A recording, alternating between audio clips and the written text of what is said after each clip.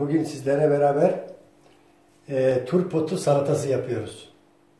Turpotu bu şekilde bir bitki. E, bunu bu şekilde ayıkladık. Önce haşlayacağız. Sonra e, e, haşladıktan sonra soslayacağız.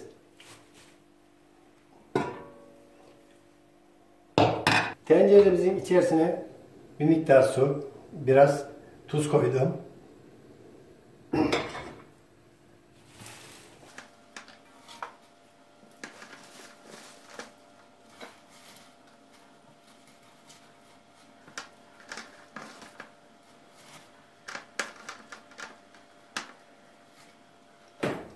Turpotumuzu bu şekilde doğruyoruz.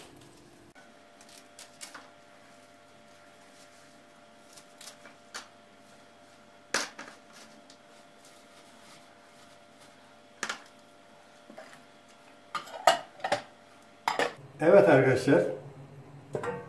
Turpotumuz haşlandı.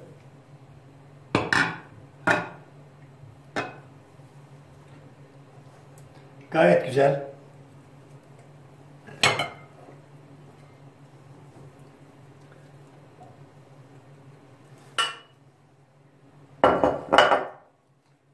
Şimdi turpotumuzu sosuna geldi.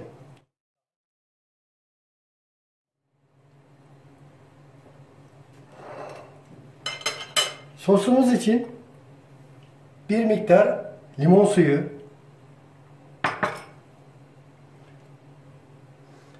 rendelenmiş sarımsak ve zeytinyağı. Önce sarımsağımızı katıyoruz.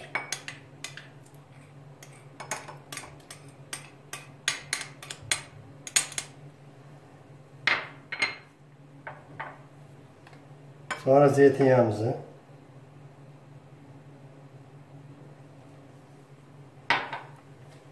karıştırıyoruz.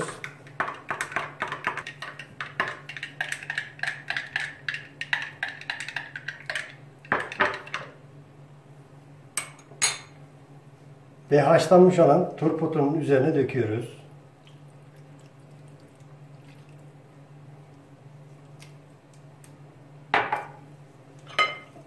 Biraz karıştırıyoruz.